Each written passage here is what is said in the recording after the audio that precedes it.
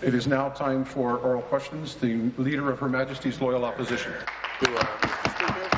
Uh, my question is uh, for the Deputy Premier. Mr. Speaker, each and every day, Carol Milokovich wakes up and thinks about her husband Robert and her son Daniel. She wonders if they would be alive if the roads had been properly maintained.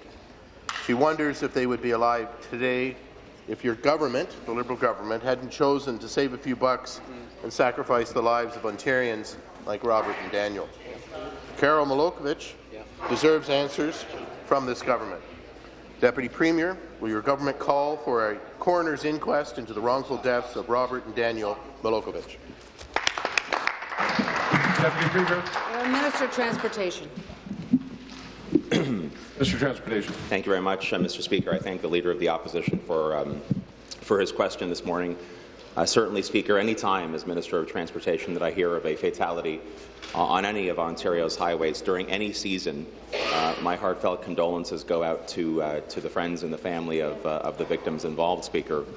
The auditor's report that was brought forward publicly last week contained eight important recommendations. Uh, I, as Minister of Transportation, accept responsibility and accept those recommendations as was explicitly stated uh, in that report, Speaker. Of course, the auditor's report does follow up on the 2013 uh, internal review that the Ministry of Transportation conducted um, uh, that was undertaken or at least uh, initially launched by my predecessor in this portfolio. Answer. There are a number of measures that were brought forward as a result of the internal review in 2013, and I'm sure I'll have a chance to discuss those, Speaker. Thanks very much. Thank you. Supplementary.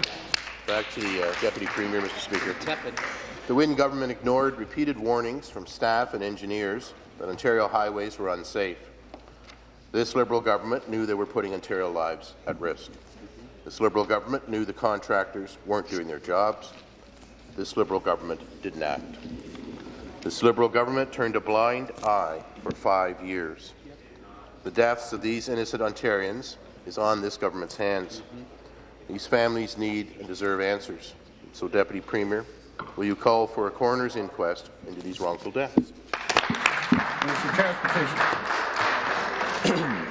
Thanks very much, uh, Speaker. What I said last week, what I will continue to say, and what I'll continue to focus on, uh, is making sure that as Minister of Transportation, uh, I take the responsibility, as I, as I have, uh, to make sure that we go forward, that we continue to uh, work with our area maintenance contractors, that we pass the budget that the Minister of Finance uh, presented here in this legislature last week, Speaker, because that budget contains provisions that will provide us with the resources uh, to make sure that we have, for example, uh, additional anti-icing liquid that can be used on highways around the province, that we have additional equipment uh, that will help in congested urban areas and also across Northern Ontario, Speaker.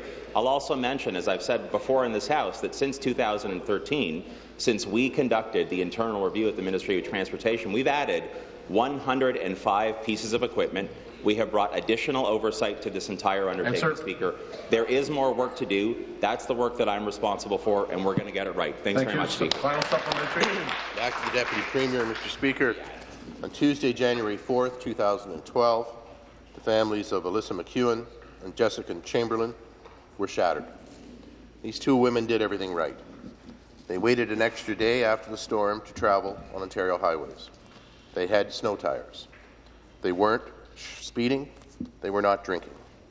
The only thing that went wrong was that the roads they were driving on were not properly cleared of ice and snow. That wrong-headed decision to sacrifice proper road maintenance in order to save a few bucks was made by this government. That decision shattered these families. So, Deputy Premier, will your government call for a coroner's inquest into the wrongful deaths of Alyssa McEwen and Jessica Chamberlain? Thank you. Minister. Thank you very much, uh, Speaker. And again, I thank the leader for uh, for his question and for his interest in this important issue. I, I know it sounds like I'm repeating myself, Speaker, but I did say this in the chamber the other day. Every single day, I've lived for 41 years in the Greater Toronto and Hamilton area, my entire life, and every single day, to this day, including this morning, I use highways. My wife uses highways. Everyone on this side of the highway, on this side of the aisle, does. On that side as well. Very often, my young daughters are in the car with us when we travel highways. I feel a very sincere and profound responsibility for making sure that we get this right. in addition to what we've done at the Ministry of Transportation since 2013, in addition, Speaker, to accepting all eight recommendations from the Auditor, Speaker, we will continue to move forward. We will add more resources. We will work with our area maintenance contractors. We will continue Answer. to improve and enhance the winter maintenance program, Speaker. It's what the people of Ontario expect and deserve. Thanks very much. Question? Leader of the Opposition. Where's the apology? Questions to the Minister of Education. The uh, parents of over 800,000 elementary students in Ontario don't know if their children will be in school on Monday. These parents don't know if they need to find alternative childcare options. Everything's up in the air. Minister, your response to those parents was you hoped, quote, it will be a work to rule and not a full withdrawal of services, end of quote. Yesterday, when talking about negotiations, you said you saw a light at the end of the tunnel. Well, Minister, I have news for you. That light was the train. It's coming at you, and it's going to wreck. So when are you going to get serious about negotiations before you wreck the school year for these children? Thank you. Minister of Education.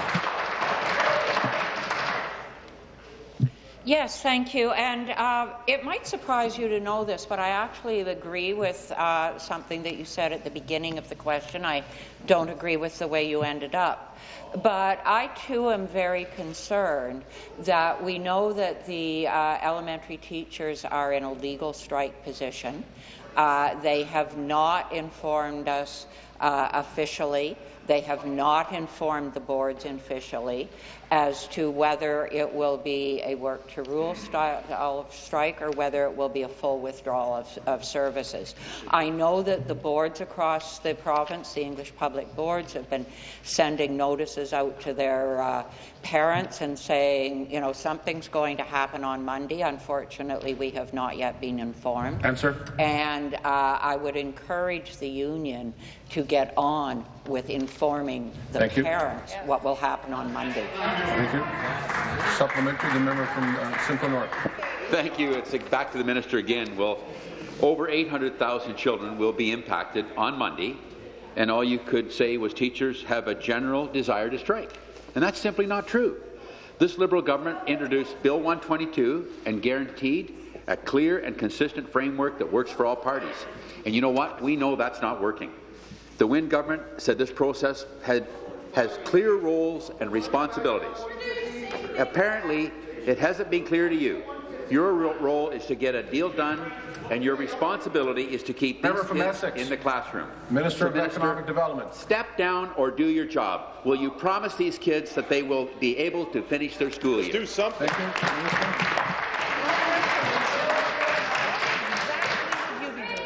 And, and I repeat what I have repeated over and over and again, is that the, that the only way that we will resolve this situation is by negotiating a collective agreement. I actually, I actually believe that the teachers would prefer to be in the classroom for those that are out, that those who are being told to uh, work to rule and withdraw things like preparing report cards or refusing to do the QAO test, refusing to um, Member from Renfrew. take part in math. I believe those teachers would actually really be do prefer to be doing their whole job. Certainly, the children want to be in the classroom. Answer. Parents want them in the classrooms. But the only way we can fix this is to negotiate. And unlike you, Thank you. I do believe that. Thank you. Final supplementary. Very, very Well, thank you very much uh, to the minister. Thank my speak to the minister. The premier said she was going to uh, light a fire underneath these negotiations.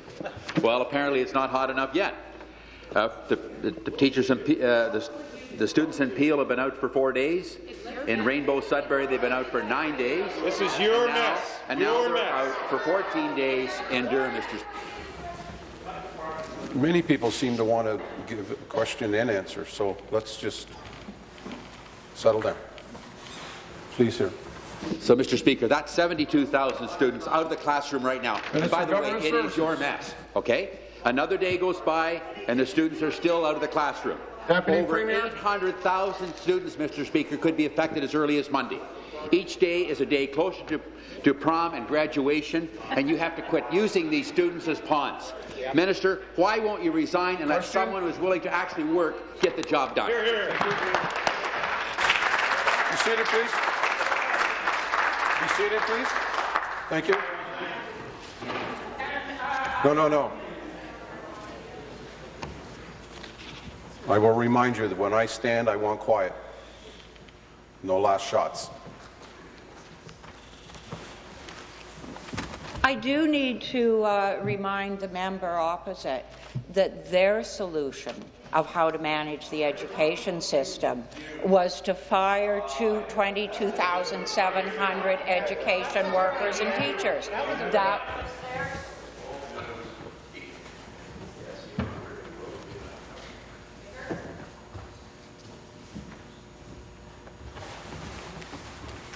They seem to not believe me, but I'd like to uh, quote from a, from a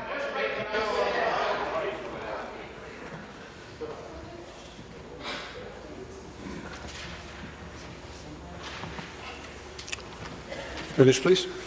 I'd like to remind uh, I can get my exercise. Next person that does it will get named. And I'll make sure you hear that. You want to play that game? I will name you. Carry on. I would remind the member opposite of a, an exchange during the last election when the leader of their party was asked, will it mean fewer teachers? And the response was, it does. It Member will mean Prince fewer Edward Hastings. teachers in our system. So I would like to remind you that that was their response. I have a totally different response. Answer. I want to negotiate a collective agreement, but I do need people on the other side to come to the table because it takes somebody else to New question? Leader of the third party. Thank you, Speaker. Uh, my question is for the acting premier. Yesterday, I asked the Premier how many budget hearings she would schedule in Northern Ontario so that families and businesses from Northern Ontario can have their say. She didn't commit to hearing from Northern Ontarians. In fact, not at all, not a single hour. Why is this Liberal government shutting down people? Why are they shutting the door on people from Northern Ontario who want to have their say on the sell-off of their Hydro One? Thank you. Deputy Premier. Well, Speaker, um, we really believe that it's important that Ontarians do have an opportunity to contribute to a budget, to let uh, government know what they think should be included in a budget. They should have the opportunity to speak.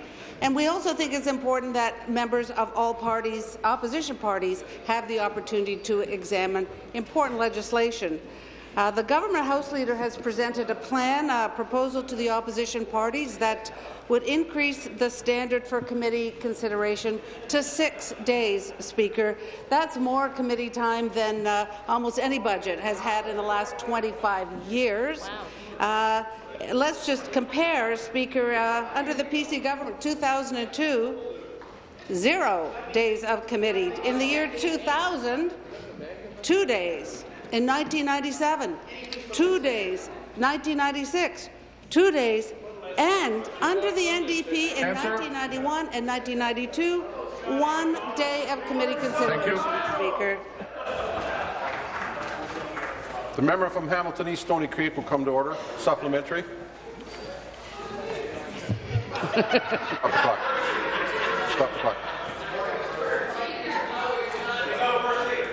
I stop the clock. I will allow uh, someone to withdraw. Withdraw. I apologize to the member from Hamilton East Stony Creek. Speaker, what the uh, acting premier is talking about is closure. And what closure is, is shutting down debate and shutting down the voices of Ontarians. So she's crowing about how proud they are about closing down the debate. Yesterday, I asked the Premier how many hearings would she schedule in southwestern Ontario so that families and businesses in southwestern Ontario could have their say. She didn't commit to hearing from uh, the people in southwestern Ontario either, not for a single hour. Why is the Liberal government shutting the door on people from the Southwest who want to have a say on the sell-off of their hydro system? Thank you. Deputy Premier. Well, Speaker, um, I'm sure uh, the leader of the third party would like to know that there were pre-budget consultations in Windsor, in London, in Cambridge, in Ottawa, in Toronto, in Mississauga, in addition The Standing Committee on Finance and Economic Affairs held public hearings in Fort Frances, in Cornwall, in Toronto, in Sudbury, in Fort Erie, in London, and in Ottawa, Speaker. We have been very open and transparent about our plan to maximize the value of the asset, Speaker. It was Member included from in the Niagara Falls. 2014 budget. It was included in the 2014 uh, platform. Uh, the budget that was introduced twice, Speaker. Member from Nipissing. Noting that the NDP ran on the very Now the member from. Hamilton East Stony Creek. In October, the Advisory Council released their interim report. The final, the, that final report was made public before the budget. Answer. We've been debating this issue in this House for months. That will continue, Speaker. And as I say, Thank you. there will be six days. Thank you. Final supplementary. Shame on the transparent Liberals that they had all those meetings and not one single time were they coming clean with the people of Ontario about, about their plan to sell Hydro One.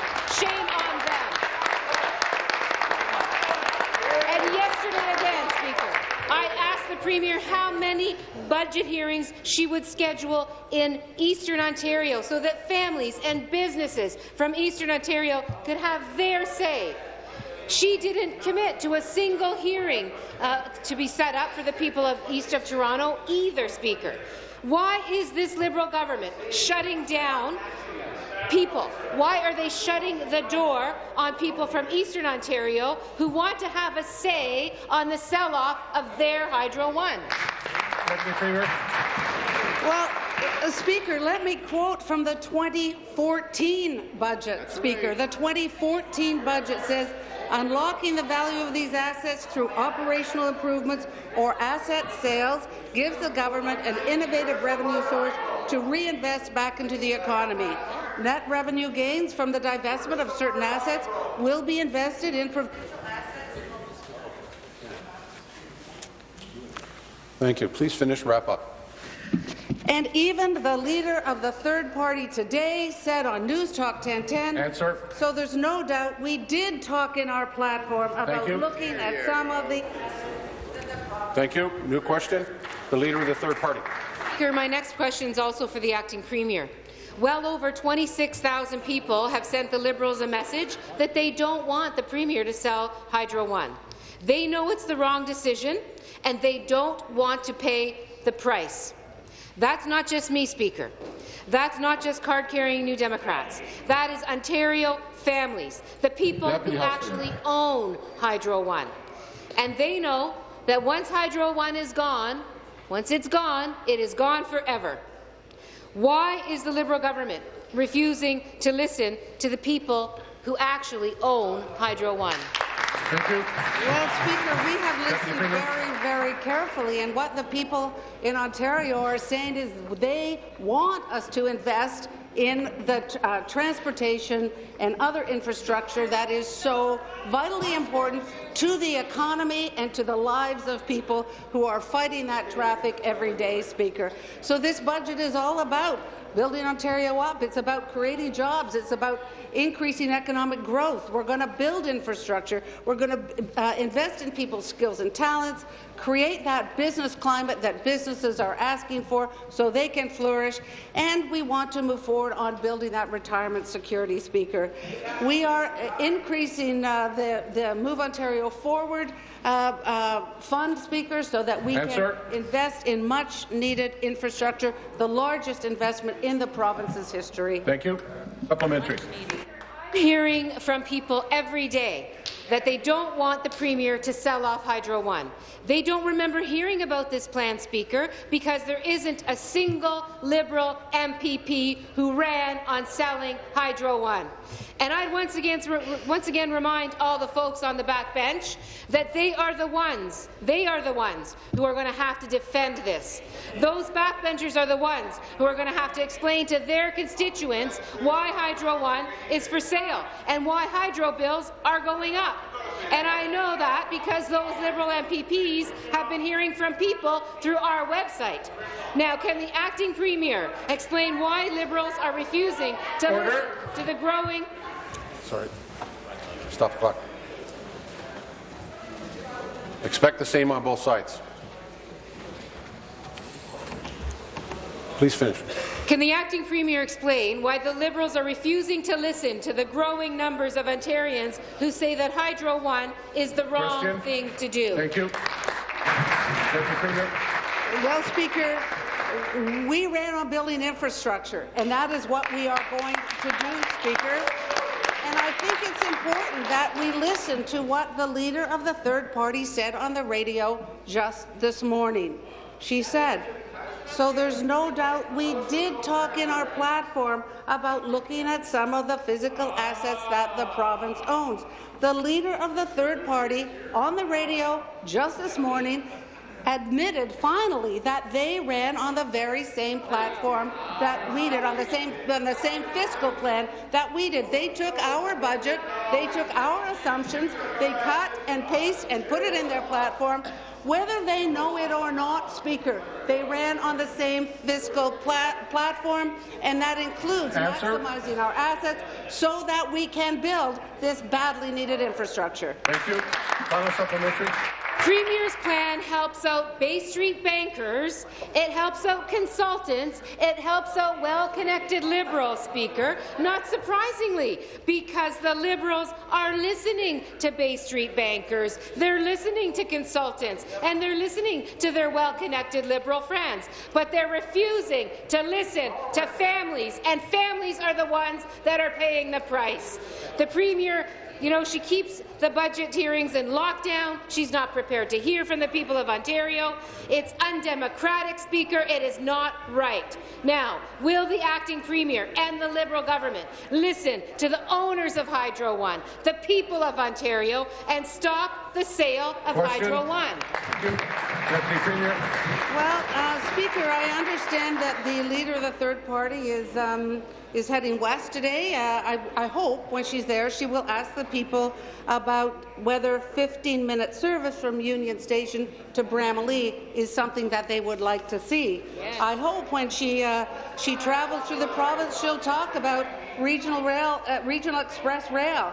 Over 10 years, weekly GO trips will, in, will go from 1,500 to nearly 6,000 trips. Speaker, that is what the people of this province are asking their government to provide. There have been insufficient investments in the past. We are making the decision to build the infrastructure that individual people need and will benefit in their daily lives, to say nothing to the economic benefit. We are Answer. spending billions of dollars, wasting billions of dollars because because and because Thank you. we are wasting. Careful. Yeah. New question. Member from Renfrew, Nipissing, Pembroke. Thank you very much, Speaker. My question is to the President of the Treasury Board. For the past month, we've been talking about your government's sale of Hydro One, and you've justified it time and time again by saying it is needed for infrastructure. But we know, you, we now know you've decided to give away shares of Hydro One to employees of OPG and Hydro One as part of their new contracts, and I've sent you copies of those contracts. You claim the deal, the tentative agreements, you claim the deal is net zero, but we know that in that deal, you're giving away stocks, shares to employees. You are providing wage increases over each of the next three years. You're increasing travel allowances, and you're adding in possible lump sum payments. Minister, what are Ontarians getting to make this a net zero deal? Question. Thank you. Deputy Well, Premier. Uh, Speaker, let me just finish my last sentence. Billions of dollars are being wasted in economic prosperity. No, no, no, Thank you. Trucks are stuck on the highways, costing businesses billions of dollars. We are paying for that additional cost. Make no mistake about it. When it comes to the Power Workers Agreement, and I thank you for sending over not copies of the contract, but uh, no, actually what you've sent over is what the Power Workers Union are, is using to communicate with their workers. But whatever, this is a deal that is under ratification, Speaker. This is a deal. We are going through the ratification process. We will continue to respect the ratification, and it is actually a net zero deal, and over time Answer. it addresses the Leach report recommendations. Thank you. This is a good deal.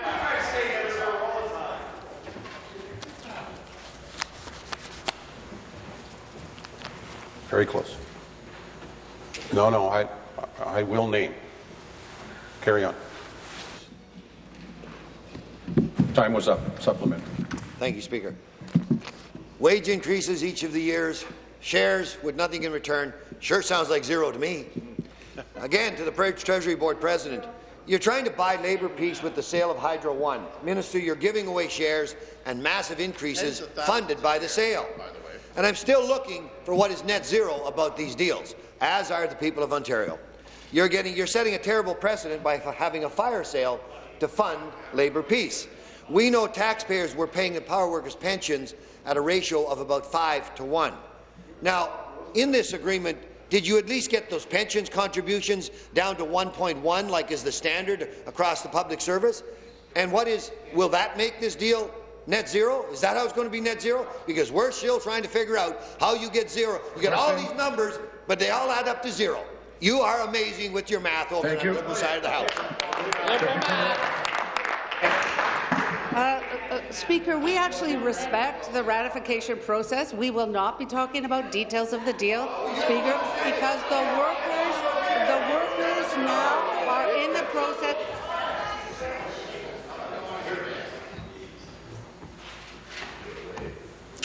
Carry on.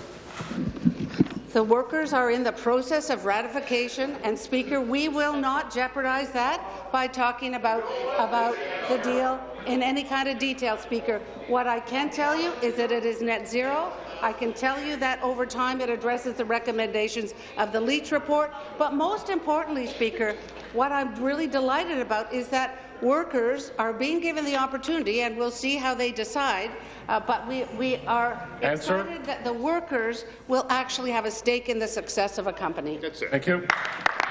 New question. the Member from Timmins, James Bay. Can the deputy uh, to the deputy premier? Can the deputy premier please tell Ontarians where in her platform or in her budget it said she was selling Hydro One shares to pay for a collective agreement? Thank you. Deputy Premier. Well, Speaker, we have been many, many times in this House. We have talked about how we have talked about maximizing the value of our assets. It was in the 2014 budget that I just quoted. It was in our platform. It was in our second 2014 budget. It was in your platform, Speaker. We are we are pleased that the workers have the opportunity of actually participating in the success of their company. That's a good thing, and I think the NDP actually would support the notion that workers would have a stake in the success of their company.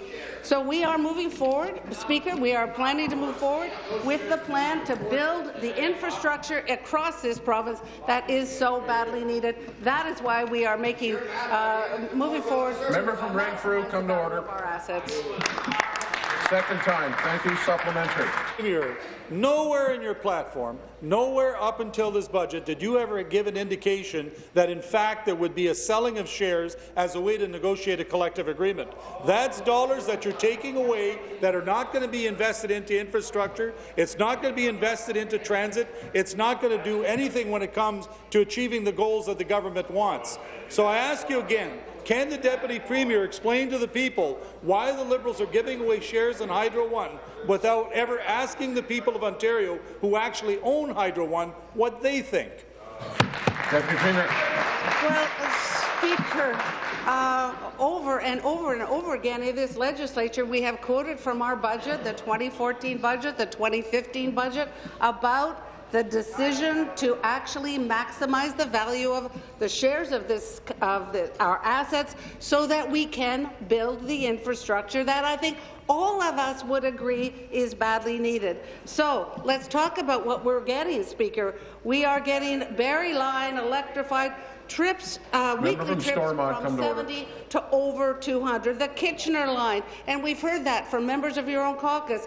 It will weekly trips from 80 to over 250, quadrupling the numbers. The Lakeshore East line, the annual ridership will go from 10 million to 32 million, Speaker. The Lakeshore Answer. West line, annual ridership will go from 10 million to 33 million. These Member are huge improvements in our transportation infrastructure and across the province through connecting links, through Ring of Fire, through uh, the Ontario Community Infrastructure Fund. Speaker, Answer. Ontario is building up again, and that's the decision we're making to keep building this province up. Thank you. Good question, the member from the Etobicoke Centre. Thank you, Speaker. My question is for the Minister of Children and Youth Services. Minister, I know that every year in May we celebrate Children's Mental Health Week. Doctors, mental health workers, parents and advocates take this week to increase awareness of the signs of children and youth facing mental health challenges in their lives, work on ending the stigma around mental health issues, and helping children and youth understand the places they go to receive treatment. In fact, Minister, this past Monday I had the opportunity to join a number of leaders in children's mental health from Etobicoke, Eva Dazinski from Etobicoke Children's Centre, Jane Bray from the George Hull Centre, and Barb McDonald at an event to celebrate Children's Mental Health Week. Minister, could you share with us how the government is recognizing Children's Mental Health Week this year? Thank you. Minister Children and Youth Services. You, Speaker, and I appreciate uh, the question from the member during Children's Mental Health Week. Fantastic. Uh, speaker, je suis fier de l'attention que notre I'm very proud of the attention that our government gives to uh, the mental health of young people. Not only this week, but year after year. record of increasing investments in children and mental health services. In fact, more than $440 million last year. We are improving treatment to children and families so they get at the right time and close to where they live. And just yesterday, I was at Sketch, a creative space that gives opportunities to street-involved youth to announce our support for a program for the Toronto Homelessness Youth Transition Collaborative that will provide wraparound mental health services to some of our most at-risk youth. All these focus on, of things focus on getting uh, children the right Thank you. support where they need it. Thank you. Supplementary. Thank you, Minister. And the program you spoke about sounds like it will help vulnerable youth who, uh, who may not have other supports get, really get the focus and care they need to get back on their feet. Uh, Speaker, Mr. Speaker, it's been great to see the interest in Children's Mental Health Week this year. Uh, I can speak from that firsthand, uh, from, based, on, based on the event I attended on Monday. We know that when our children and youth are happy and healthy, they have the conditions to thrive. Um, Mr. Speaker, could the government let this House know of any other investments it has made this week for our Children's Mental Health Week? Thank you. Minister. Minister of Health and Long-Term Care. Minister of Health and Long-Term Care. Thank you, Mr. Speaker. And first, I want to thank all uh, MPPs from all parties who came out uh, Monday on the front steps of the legislature for the formal launch of the mental health bus, which is an important service for youth in, in uh, York region, Mr. Speaker. But I, I want to also talk about uh, an event that uh, Minister MacCharles and I uh, joined on Tuesday to announce that we're investing more than $5 million to support a new facility within Youthdale here in Toronto that has inpatient beds specifically targeted for teens between the ages of 16 and 19. And once construction is complete, Mr. Speaker, this facility is going to provide 10 additional beds and care for approximately 175 young people who are dealing with complex mental health challenges each year. And on top of that, we're also helping Youthdale provide a day program for youth with difficult mental health challenges that will help more than 6,000 youth annually through that facility. Mr. Spook, Mr. Spooker, Mr. Sometimes, Mr. Speaker. Mr. Speaker, through the mental health and addictions strategy, we're working. I'm on a roll after the uh, member from. Uh, Answer. through the mental health and addiction strategy, we're working to ensure our children and youth have the supports they need at such a critical time in their lives. Thank you. New question, the member from Stormont, Dundas and South Glengarry. Thank you, Speaker. To the Deputy Premier. Your government sacrificed people's safety to save a few bucks on winter maintenance. The simple fact is that in the eastern region, you cut the number of snowplows by almost 50 percent. When accidents and fatalities started to mount, you blamed it on the weather. When your ministry engineers tried to tell you there weren't enough plows, you ignored them. And when contractors Deputy made House requests Leader. for help, you punished them. Second Deputy time. Premier, how could you refuse to act when you knew it was your maintenance policy changes that were the cause of increased accidents, personal injuries, and deaths? Why did it take the Auditor General's scathing report to finally get action? And is that why you're now limiting her powers? Thank you. Deputy Premier. Minister of Transportation. Minister of Transportation. Uh, thanks very much, Speaker. Uh, again, I thank this member for uh, for this question. I know it's important to people uh, living in his community, as it is uh, for people living right across the province of Ontario. Speaker, I've said this many times. I have no problem whatsoever repeating it. Um, the Ministry of Transportation began an internal review in 2013. It is important to note that the auditor was actually asked by the Public Accounts Committee to come in during 2014. So prior to the auditor being asked to conduct her review, uh, the Ministry of Transportation had taken it upon itself, as it should, uh, to, uh, to take a look at the program, to update it. As a result of the internal review, Speaker, uh, there were 105 additional pieces of equipment for both Northern Ontario for truck climbing and passing lanes, but also for Southern Ontario for, for, um, for ramps and shoulders. And I remember being in the, um, the, uh, the riding of Northumberland Quinte West to make the announcement last fall with respect uh, to the other 50, uh, the other 50 pieces of equipment that were being used again for ramps and shoulders uh, in Southern Ontario. Speaker, I accept full responsibility, and in fact, uh, all eight of the auditor's recommendations have Answer. been accepted by me as minister and the ministry. Uh, we continue to uh, look forward to working on this program to make sure that Thank it you. continues to improve. Thanks very much. Supplementary, the member from Wellington Halton Hills. Mr. Speaker, back to the Deputy Premier. The Auditor General's report on winter road maintenance should make this government hang its head in shame. Absolutely. In her report, Auditor General suggested that the problems were, quote, foreseeable and could have been avoided, end quote. But it's more than that, Mr. Speaker. The decisions taken by this government were careless, arguably even reckless and irresponsible. Winter road maintenance is not some kind of frill service. It's an essential government function because in the winter in Ontario, if the highways aren't properly ploughed, safety is compromised and the lives of motorists are at risk. How does the government have the audacity to stand in this House and defend the indefensible?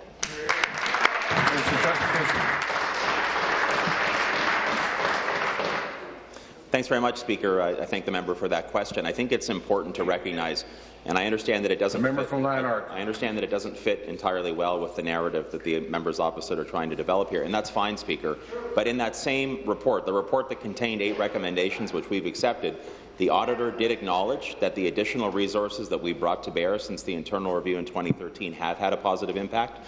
That same report, along with other uh, independent information, does demonstrate that over the last 13 years, the province of Ontario has ranked first or second in North America for highway safety. In fact, Speaker, as I said the other day, in 2012, the only other jurisdiction in North America that had a better record for winter, sorry, for highway safety was the District of Columbia, Speaker. That doesn't mean the work is over. And in fact, Speaker, Thank following her report the other day, I asked the auditor to come back.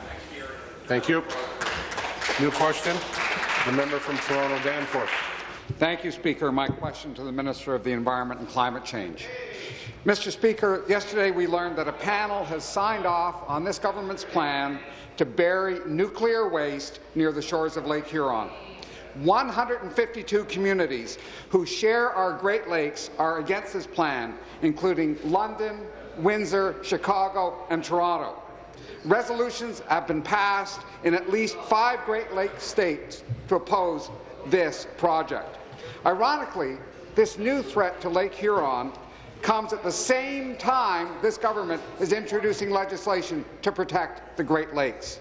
Mr. Speaker, does the Minister of the Environment and Climate Change support his government's plan to bury nuclear waste in the watershed of Lake Huron? Thank you very much, uh, Mr. Speaker. We have a very good process in this country around making these decisions, and this is under federal regulation uh, and a federal responsibility, Mr. Speaker. And I think it would be very inappropriate for me or other members of this House to weigh in and uh, create any impression that there's bias in that process, Mr. Speaker. We have nuclear storage with a, in a province for 50% of our energy generated by nuclear. There is obviously an issue of nuclear waste uh, and nuclear waste management, Mr. Speaker. And the government's biggest priority was ensure public safety and that this is stored properly Answer. and safely to the highest standards in the world, and to respect the regulation and jurisdictions of other governments that Thank you. regulate and have to make these. Thank you. Supplementary. Well, Speaker, this government may, may have faith in Stephen Harper. We don't. the government knows full well that the federal government has gutted environmental oversight in recent years. Due diligence has become more like a rubber stamp. We can't count on the federal government to do the right thing. We know a similar waste dump in New Mexico has used similar technology and failed twice releasing radioactivity to the surface. Wow. Will the Minister for the Environment and Climate Change step in to fill the gap in federal oversight? Good question. You know, Mr. Speaker, there is something called the Canadian Constitution, uh, uh, which both uh, enables and limits the authorities of different governments, uh, and it is, quite frankly, beyond the uh, the ability of any government to interfere with that, and we're not about to start to, Mr. Speaker. We, what, what, how, what, we have done, Mr. Speaker, is that we introduced the Clean Water Act, and we have water protection plans developed by these communities that address those things. We, we, we will ensure that within the jurisdiction and authority of the province of Ontario, we will take all measures within our constitutional authority to ensure that always nuclear and others, is properly disposed of. And, Mr. Speaker, I'm not sure whether the member right now is suggesting that the current storage practices are better than what's Thank being you. proposed. I'd like to hear his defence of the status quo. Thank you. New question, the member from Etobicoke Lakeshore. Thank you, Mr. Speaker. My question is for the Minister of uh, college, Training Colleges and Universities. Mr. Speaker, Ontario's apprenticeship system is a key part of building the highly skilled workforce our province needs to compete in today's global economy. And I understand that our government has already made substantial investments in the apprenticeship training system.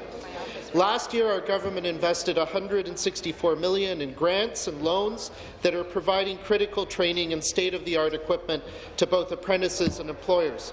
And recently, Mr. Speaker, I was pleased to join the Premier and the Minister at Iron Workers Local 721 in my riding of the Etobicoke Lakeshore to announce additional funding to, for apprenticeship training as part of Ontario's renewed youth job strategy.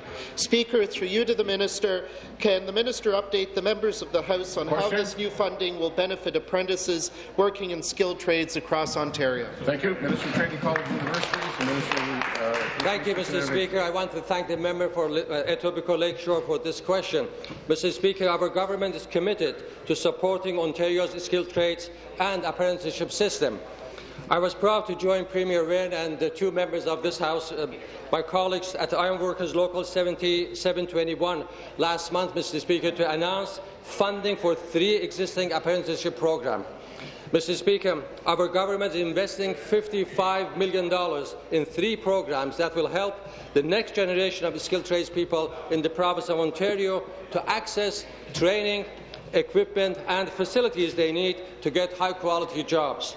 Mr. Speaker, as part of Ontario's renewed youth job strategy, we are investing $23 million in new funding in the Apprenticeship Fund Enhancement Fund program and the $13 million for new funding in the pre-apprenticeship training program.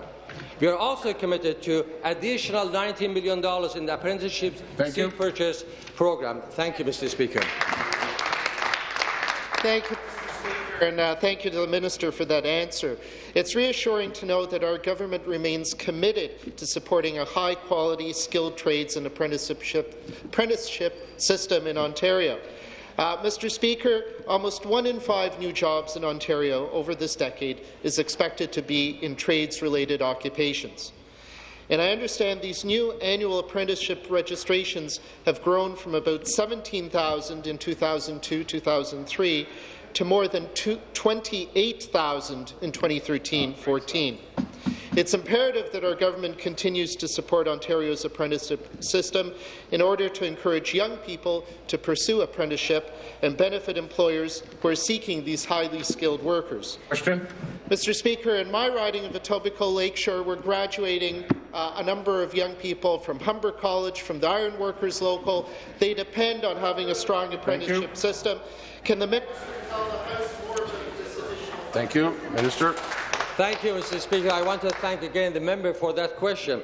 Mr. Speaker, I have toured dozens of training centres and colleges across the province of Ontario and seen firsthand the passion and the pride that our skilled tradespeople take in their work.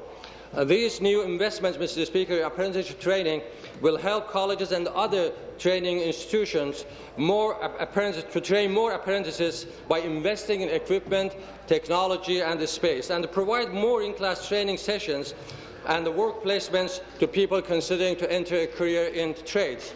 Mr. Speaker, our government is also increasing the amount that all training delivery agents across the province of Ontario receive to train our apprentices. Uh, this additional funding in the pre-apprenticeship training program will target underrepresented groups in the skilled trades, including at-risk youth, Aboriginals, women and newcomers to our country. Mr. Speaker, our government will continue investing in our young people by supporting a highly qualified apprenticeship program in our province of Ontario. Thank, Thank you. you. New question, the member from Dufferin Caledon. Thank you, Speaker. My question is to the Attorney General. Former Justice of the Peace Santino Spadafora retired days before he was to appear before the Justice of the Peace Review Council to face a disciplinary hearing for submitting false expense claims for over $16,000. Wow. Before retiring, oh sorry, by retiring before the hearing, the charges were dropped and Spadafora has avoided his disciplinary hearing. Mm. We will never know whether the $16,000 in expense claims were appropriate or false. What we do know is by retiring, the disciplinary hearing was dropped, and Spadafora keeps his pension as a Justice of the Peace. Yeah. Spadafora asked, and the Justice of the Peace Review Council agrees, that his legal fees of over $15,000 should be covered. Question? You've had that recommendation on your desk since April 7th. Do you intend to pay Spadafora's legal fees? Mm. Thank you. Attorney General. First of all, uh, Mr. Speaker, uh, you know, the Ju Justice of the Peace Review Council is an independent body that uh, investigate complaints about the conduct of a justice of the peace Order. and determine appropriate sanction where it's uh, necessary. So the council is also the member from Perth Wellington. recommendation from to government Pembroke. compensation for costs associated with hearing. If a recommendation is made, uh, you know, and uh, when it is made, I can assure you that we will review the Council recommendation carefully. You're warned. I, I missed it. So the member from Renfrew, Nipissing, Pembroke is warned. Uh, and I, you have one wrap-up sentence. You know, the recommendations are done by an independent body, so when it comes to me, you know, we uh, review it and uh, I'll take the appropriate decision. Thank you very much. Supplementary. Uh, the Council is absolutely independent, but the recommendations go to you for a decision, Minister. The Justice of the Peace Review Council stated that, and I quote, We note that the allegations were serious. This is not a case where the allegations of misconduct have been dismissed. His Worship Spadafora retired before the evidence was called. The only reason the Justice of the Peace Review Council did not hold the hearing is because Spadafora retired and they no longer have jurisdiction. Minister, the public will never know whether costs over $16,000 were false or true. He obviously retired early to avoid the disciplinary hearing. Why would you reward that bad behaviour by paying his legal fees? Well Do the right thing, Minister. Turn down Spadafora's request to have his legal fees covered. Here, here. Thank you.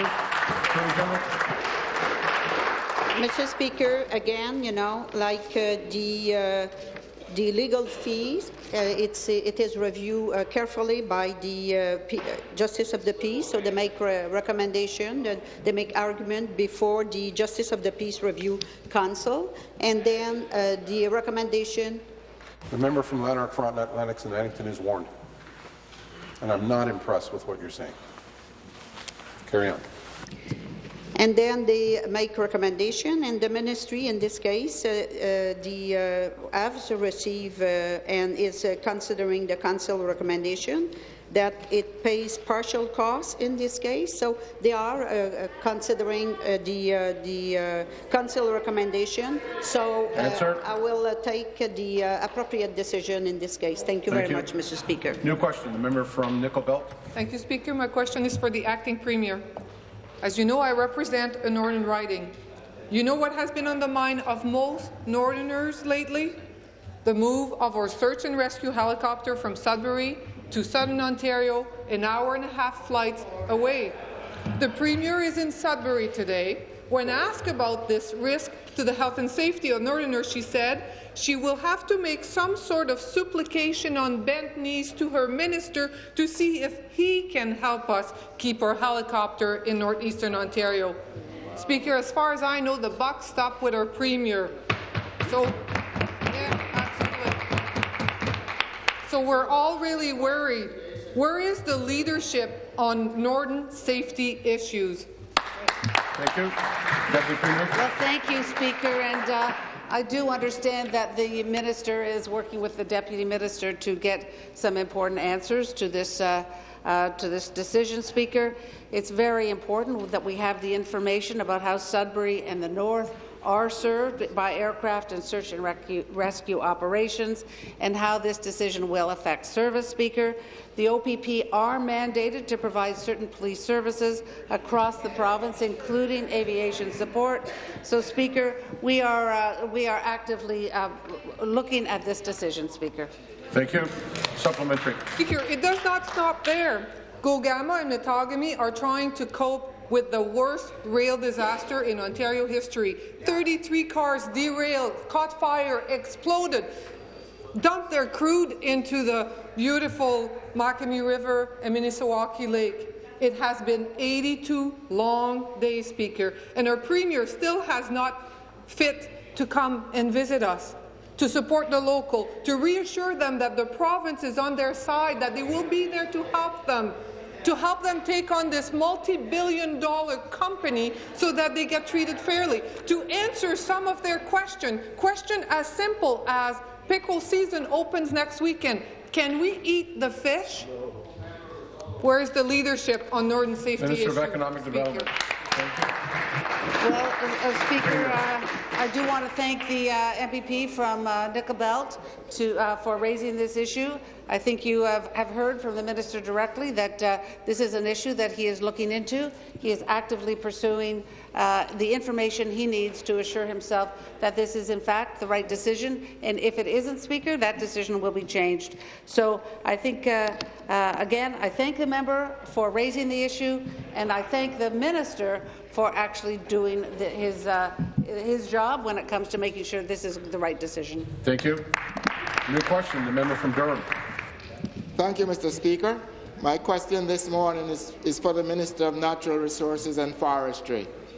Ontario is home to about 71 million hectares of forest and about 75 billion trees. This adds character to our province, and the people of Durham know well the recreational spirit and sense of correctness with nature that this brings to rural communities. But it's not just about character. Ontario's forest, forestry industry generates over 11 billion in economic activity for our province and support over 170,000 jobs in, 100, in 260 communities across Ontario. In Northern Ontario, allowing industry greater access to forestry resources would support jobs and drive growth for many communities. Question.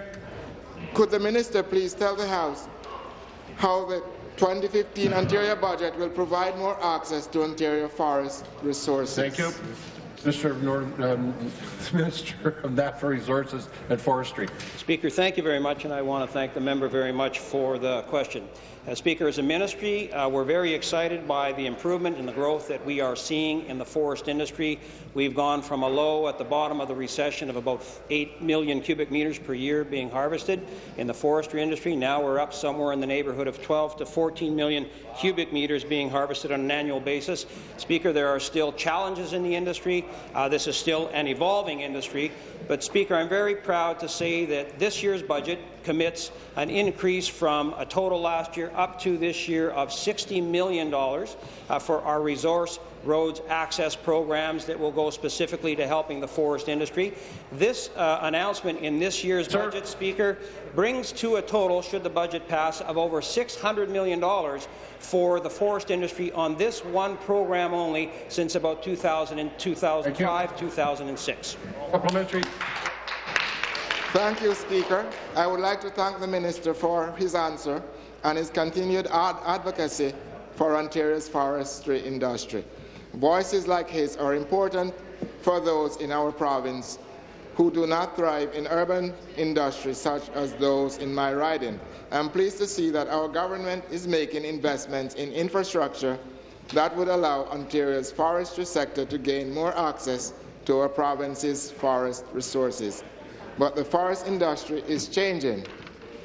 We are seeing innovative technologies come out of the pulp and paper sector, new engineered forestry products, biomass, biomass fuel, and even medicine being generated from our forests.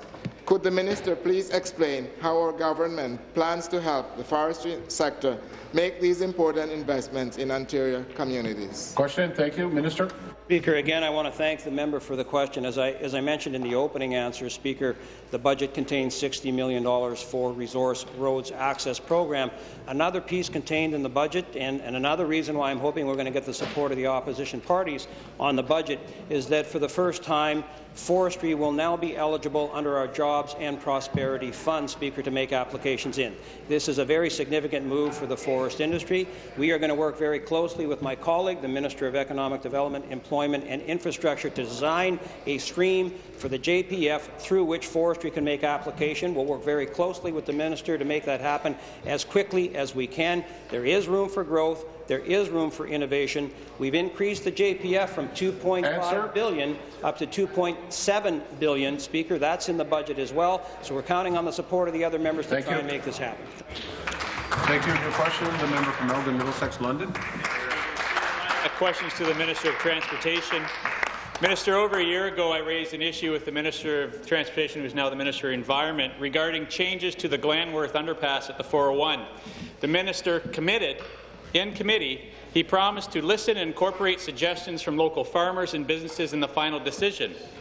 Minister, your ministry did not incorporate a single idea and are now favouring an option to eliminate the underpass completely, forcing heavy, slow-moving farm equipment onto a busy highway. Your ministry seems intent on putting the public at risk. Minister, will you direct your ministry to select the option that listens to farmers and businesses and keep the public safe? Sounds familiar. Thank Transportation. Thanks very much, Speaker. I want to thank the member uh, from Elgin, Middlesex, London for that question. Be happy to have a conversation with him, uh, either ourselves one-on-one or staff to staff, about the specific item that he's raising here today. I know obviously of great importance to him and his community. Happy to have that conversation, and I appreciate him raising it here in the House this morning. Thanks very much. Thank you. Supplementary.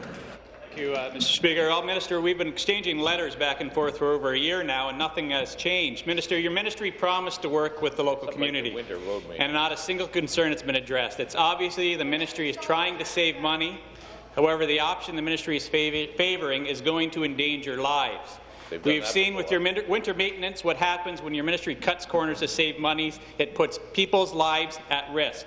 Will you intervene listen to the concerns of the farmers and businesses and the municipalities who also agree with the options of the local businesses and farmers and make the changes necessary and make the highway the safe thing. in the London area. right Thank thing. you.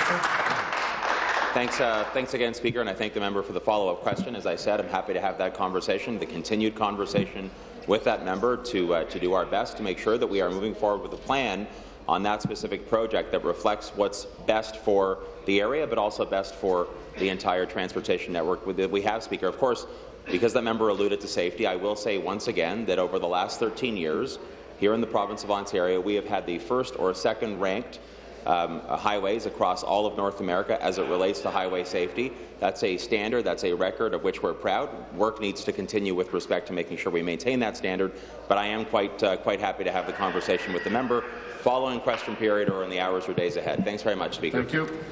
Question, the member from Welland. Thank you, Speaker. My question is to the Acting Premier. Yesterday, Children's Mental Health Ontario released their first ever report card on the state of child and youth mental health programs in Ontario.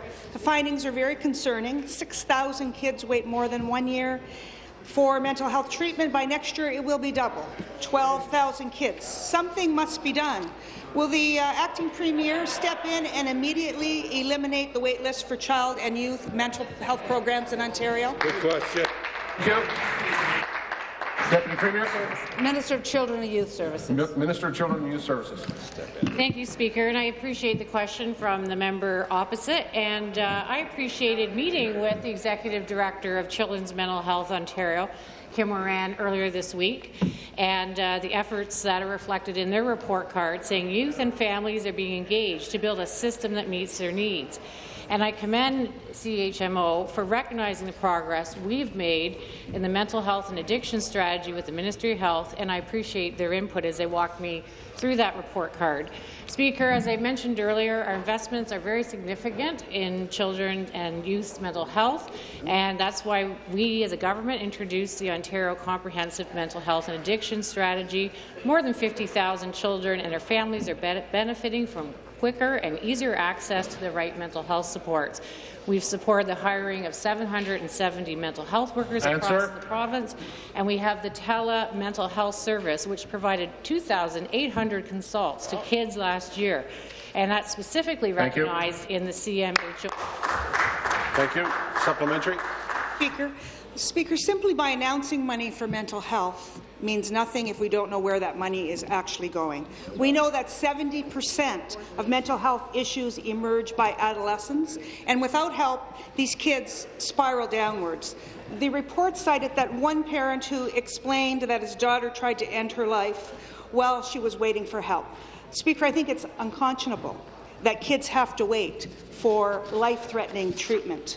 Will the acting premier immediately eliminate the wait list for child and youth mental health programs in Ontario? Minister. Well, Speaker, we always know there's more that can be done to help uh, children who are facing uh, mental health issues, but we are very proud of our investments, and we know exactly where those investments go, Speaker. And uh, as Minister Hoskins said, just on Tuesday, we announced the $5.2 million for the Youthdale Treatment Centre to expand uh, a very innovative, compassionate mental health uh, uh, centre there, a 10-bed uh, facility, as well as a day program for 150 youth. But as I said, we know there's always more that can be done, and we want to make sure that children and youth uh, access mental health and addiction services where and when they need them. So that's why we're transforming the sector, Speaker, and through our lead agency model Answer. to coordinate the care that children, youth and their families uh, receive. And I'm proud that our government has the buy-in from partners like CMHO, who said the lead agency model places the community sector at the centre of planning and coordination you. across. Thank you. Member from Leeds Grenville on a point of order. Uh, thanks, Speaker. Point of order. My party has a convention this weekend, so I would just ask that all members thank the member for Simcoe Grey, the leader of Her Majesty's official opposition, for his hard work.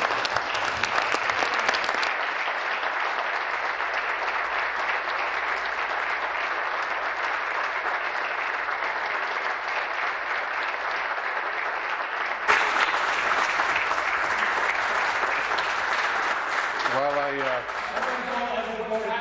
while I, okay, here we go. Hey, hey, listen, I'm standing. I'm still going to name somebody. No, I just, I, uh, I thank, I thank the member from Leeds Grenville for stealing my thunder because I had written a note for myself. So I do want to say this as Speaker. Uh, it's just, I want to take the opportunity just in case. Uh, we never know what happens, but just in case, I want to compliment and thank the member uh, for his uh, conduct, his uh, service, and his uh, decorum when it came to being the official leader of Her Majesty's Loyal Opposition. I, I enjoyed our time, so thank you very much, sir.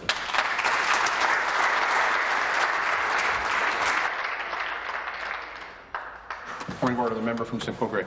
I'll just say uh, thank you to all sides of the House. It's, uh, it's been a pleasure, and I'm not dead yet. I'll be back Monday.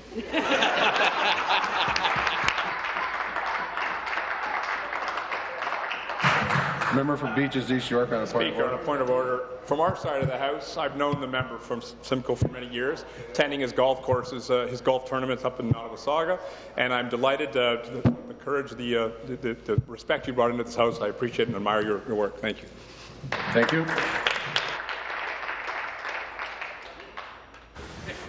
Knowing that you're still going to be around this House stands recess until 1 p.m. this afternoon.